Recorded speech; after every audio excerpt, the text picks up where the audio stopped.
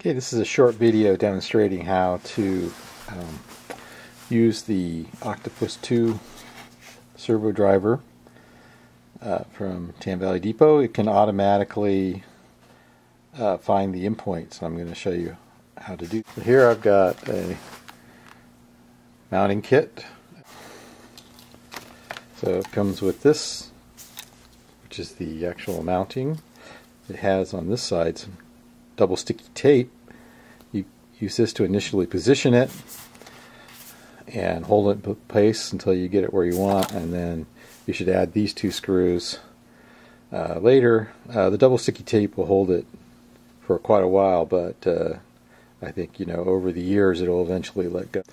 Uh, you have to wrap this uh, wire down below the servo like that. See, and then place it into there.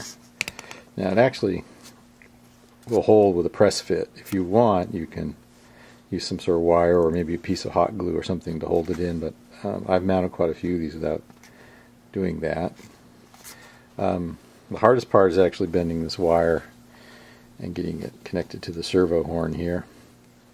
Um, there's other ways you can mount wires to servo horns. Uh, there's all sorts of clever things made with screw connectors and stuff. But um, over the years, I've discovered that bending a wire is really the best and safest thing to do. This will hold forever; it'll never come off. Whereas if you use a set screw, eventually it works out and it comes apart, and you have to redo it. So this this is our servo here. Now I'm, I'm moving the servo horn back and forth to demonstrate this. Actually, I don't really recommend um, doing what I'm doing here because if you're not careful and you put too much pressure on, you can actually strip these nylon gears. So um, leave this to the experts. Okay, uh, I'm going to add a servo extension here. When you plug these servo extensions together, notice there's a white wire here and a white wire here.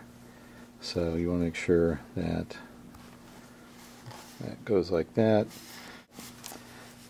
Now the white wire goes in board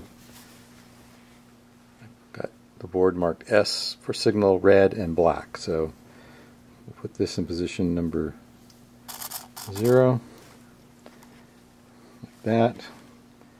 And then I'm going to take all these jumpers off here and put this centering jumper on. So what that does is when I put this jumper on center is it holds this applies power to the servo and puts it in the center.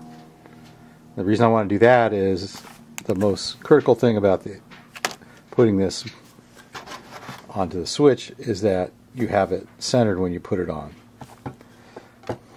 If you do that, then the um, alignment will go quite quickly. If you put it off the center, then you can have some troubles. So I'm going to pull this double sticky tape out. There we go. Okay. Now I've got a nice little slot drilled here for my servo. And then the tricky part, of course, is putting it in that hole down there, but uh, it's easy, of course, when you can do it like this. It's a little harder when you're underneath the layout. But so I've got it up through the hole there. And I want the switch points to be centered. They don't have to be centered exactly, but uh, they shouldn't also be pressing against one side or the other. So they can be to one side or another, but you don't want them pressing firmly against there. Otherwise, it won't be able to find the endpoint because it's going to start in the center and look one direction and then go to the center and look in the other direction. So it's got to be between the two positions you. So we want this to be this selector here to be in the same corresponding position right now. It's pointing towards 3, so I need to have it pointing towards 0. 0. Now what we need to do is press the button marked align for about one second. Press that and I let go of it and you see this LED is rapidly flashing. That's telling us that it is aligning. So what's happening is that this is going to be slowly moved from one side to the other. It's going so slowly we can't really there's much to see. I'll see if I zoom in a little bit here. Yeah, you see it just sort of ticking over there as it slowly moves from one side to the other. The point's moving over towards one stock rail.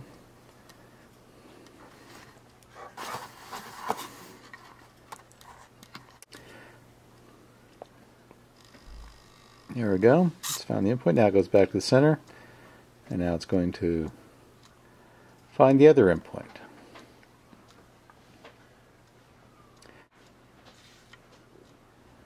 There we go.